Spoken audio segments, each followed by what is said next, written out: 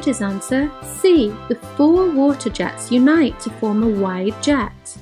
When the bottle is closed, only a few drops of water can escape through the small holes because the external air pressure opposes this and no pressure equalization can take place in the bottle. When the bottle is open, the air also presses on the water from above so that the water's own weight pushes it through the four small holes.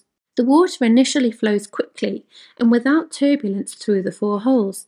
However, if you run your finger over the holes from the outside, the water jets are initially deflected. Since nature tends to make the surface energy, and thus the surface area, as small as possible, the jets merge. This is because the combined surface is smaller than the sum of the four individual surfaces. Can you also manage to turn the one wide jet back into four individual jets by wiping again?